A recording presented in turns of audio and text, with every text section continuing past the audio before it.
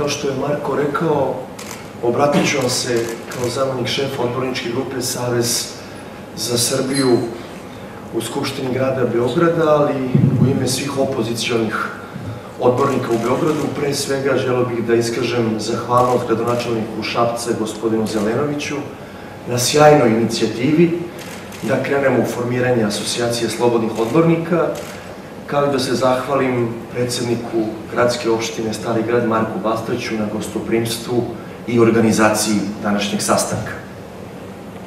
Šta je asocijacija slobodnih odbornika, čiji nastanak danas začinimo?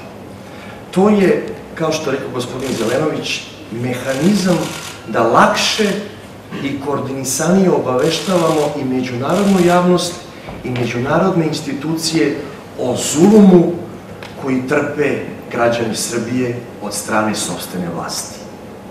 Ali to je i nešto mnogo više od toga.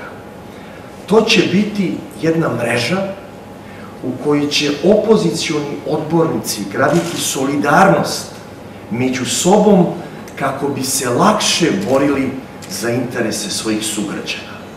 I glavna poruka je da od danas odbornici opozicije više nisu sami, da će se držati zajedno i da kada režim udari na jednog od nas, udarit će na sve nas.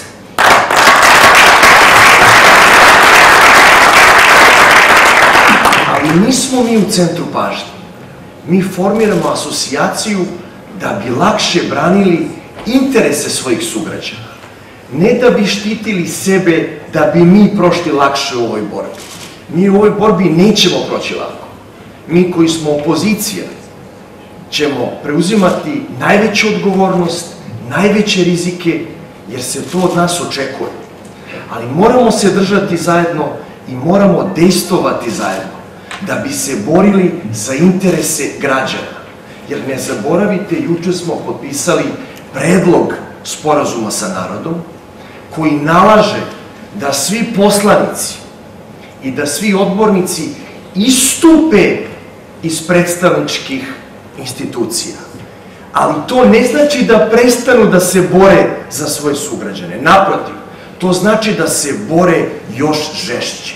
Samo van sistema jer u ovakvom sistemu se ne možemo boriti za građane, za građane se danas moramo boriti isključivo van sistema. Dragi prijatelji, posle dužeg vremena iz Beograda dolaze neke dobre vesti. Na beogradskim izborima prošle godine je krenulo ujedinjavanje opozicije.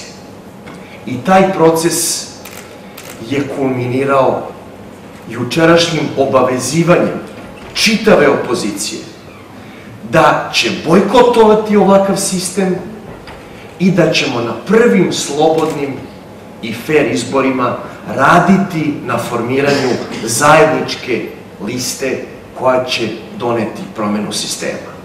I šta je suština tog sporazuma sa narodom u jednoj rečenici? Suština je da se svi obavezujemo i da prepoznajemo rastući konsenzus u narodu, da ovakav sistem ne valja.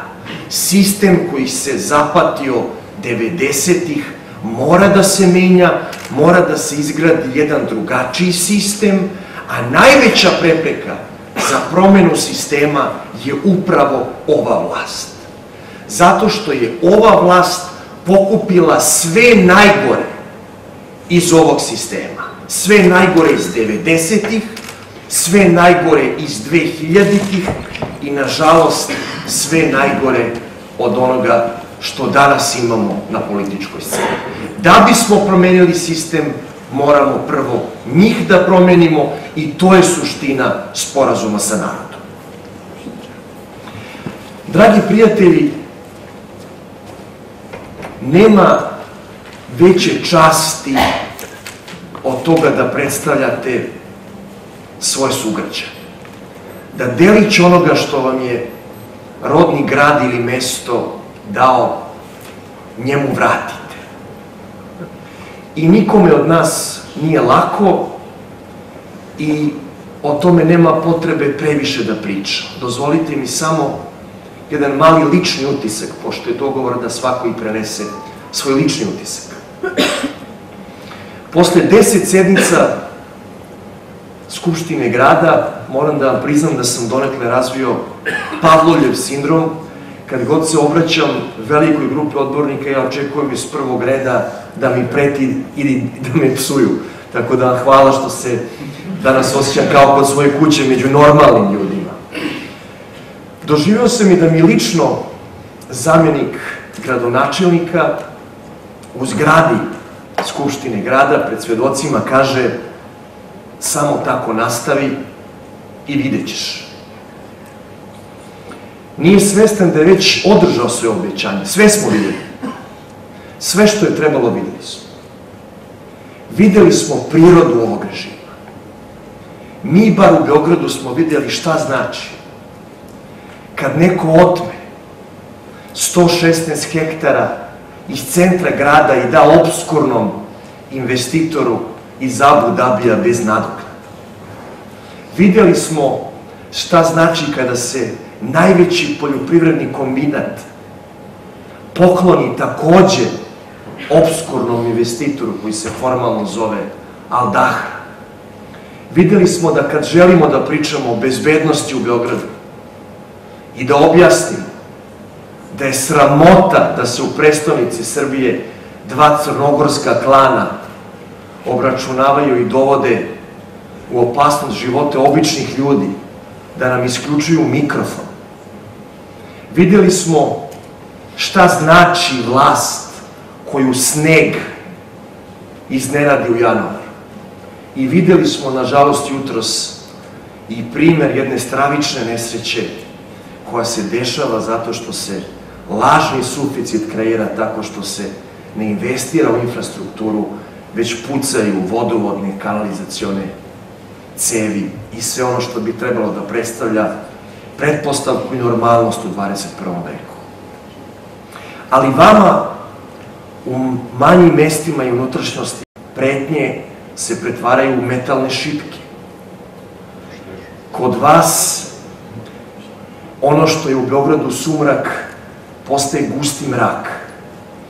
I zato mi je drago što danas krećemo u formiranje asocijacije slobodnih odbornika, jer smatramo da je dužnost beogradskih odbornika ne samo da se bori za Beograđane, već da pomogne svim odbornicima u Srbiji i da izgradimo solidarnost da veće odborničke grupe podržavaju manje, da veći gradovi podržavaju manje, a da manji gradovi podržavaju druga nasilja u Srbiji.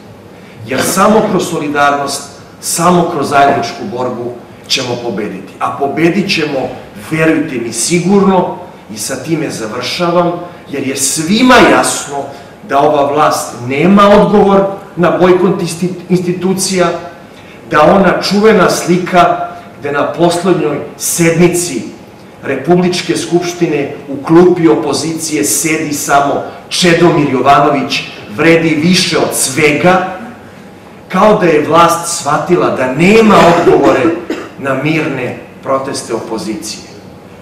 Grudva snega postaje lavina, nas je sve više i poručujemo vlasti nama ne treba nikakvo nasilje, nikakve provokacije, pobedit ćemo vas čistim brojem, kada dođe mart, bit će nas duplo više na ulicama, a kada vidite koliko nas ima, sami ćete sići sa vlasti, jer će, vidjet ćete da nema više vama mesta u vlasti, da je vreme za novo vreme, nove ljude i novi sistem. Hvala vam puno.